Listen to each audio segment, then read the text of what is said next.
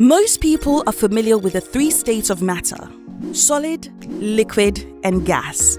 However, plasma exists as a state apart. A plasma is a gas in which all the atoms have had some or all of their electrons removed, leaving them as positive ions. Sputter deposition uses the kinetic energy of fast moving ions in a plasma to vaporize a coating material, which will then be deposited on a substrate as a thin film. These thin films are layers of material that range in thickness from single atoms to tens of thousands of them. The sputtering process starts with placing the substrate in a vacuum chamber filled with inert gas atoms, such as argon.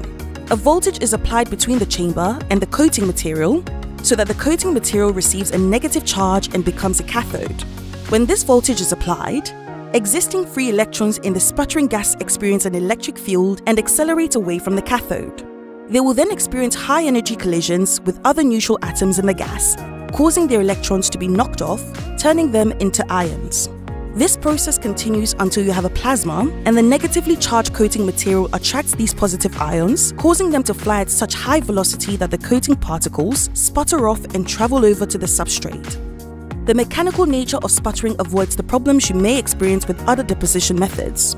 Metals such as tungsten are difficult to heat because its melting point is too high.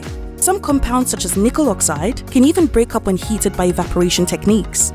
Sputter systems come in different sizes depending on the industry application. At Korvus Technology, we're the manufacturers of the Hex series, a benchtop, customizable, and modular thin film deposition system, providing support for several techniques, including magnetron sputtering. So if you're wondering how the Hex system may be of use to you, then get in touch with us today by filling in our online contact form so we can discuss what you're looking for and how our system can help.